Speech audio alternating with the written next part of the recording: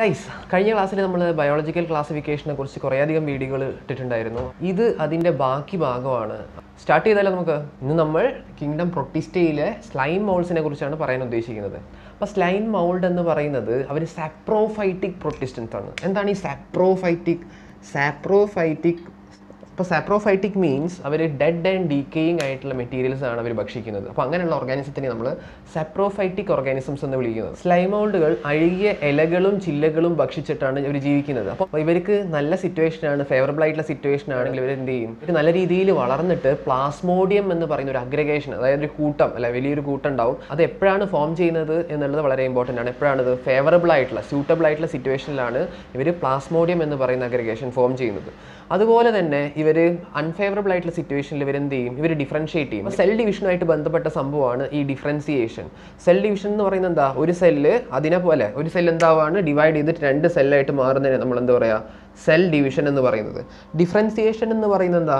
ഇവിടെ ഉണ്ടായിരിക്കുന്ന ഈ സെല്ല് അല്ലെ പുതിയ രണ്ട് സെല്ലും ഈ പേരന്റ് സെല്ലിൽ നിന്നും വ്യത്യസ്തമായിട്ടുള്ള ഒരു ഒരു സ്ട്രക്ചർ സ്വീകരിക്കുന്നുണ്ടെങ്കിൽ അതിന് നമ്മൾ ഡിഫറൻസിയേഷൻ എന്ന് പറയും. അപ്പോൾ ഡിഫറൻസിയേഷൻ എന്ന് പറയുന്നത് എന്താണ്? ഈ പുതുതായി ഉണ്ടായിരിക്കുന്ന ഈ സെല്ല് പേരന്റ് സെല്ലിൽ നിന്നും വ്യത്യസ്തമാർന്ന രീതിയിലോട്ട് മാറി. അല്ലെ അതിന്റെ ഫംഗ്ഷൻ ആയിക്കോട്ടെ ഇനി അതിന്റെ സ്ട്രക്ചർ ആയിക്കോട്ടെ പേരന്റ് സെല്ലിൽ നിന്നും ഡിഫറെന്റ് ആയിട്ടുള്ളൊരു ഒരു സ്ട്രക്ചർ അല്ലെങ്കിൽ അതിന്റെ ഫംഗ്ഷൻ സ്വീകരിച്ചിട്ടുണ്ടെങ്കിൽ പാരക്ടറിന്റെ പാരന്റിന്റെ ക്യാരക്ടറിൽ നിന്ന് വ്യത്യസ്തമായിട്ടുള്ള സെൽ ഉണ്ടാവുകയാണ് അപ്പോൾ അതിന് നമ്മൾ പറയുന്ന പേര് ആ പ്രോസസ്സിനെ പറയുന്ന പേരാണ് എന്ത്? സെൽ ഡിഫറൻസിയേഷൻ അപ്പോൾ പുതിയ ടൈപ്പ് സെൽ ഉണ്ടായി മാറി അല്ലേ? ഈ ഒരു ടൈപ്പ് സെല്ലിൽ നിന്ന് പുതിയ സെല്ലായി മാറുന്നതിന് നമ്മൾ എന്ത് പറയാം? സെൽ ഡിഫറൻസിയേഷൻ പ്ലാസ്മോഡിയം ഡിഫറൻഷിയേറ്റ് ചെയ്തിട്ട് എന്തുണ്ടാവും?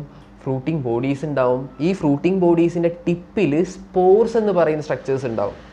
സ്പോർ എന്ന് പറയുന്ന സ്ട്രക്ചറിന്റെ പ്രത്യേകത ദർ ഹൈലി റെസിസ്റ്റന്റ് ആയിരിക്കും. നല്ല തിക്കൻഡ് ആയിട്ടുള്ള കോട്ടിംഗ് ഉള്ളത് കാരണം അവരെന്താണ്? ഹൈലി റെസിസ്റ്റന്റ് ആയിരിക്കും.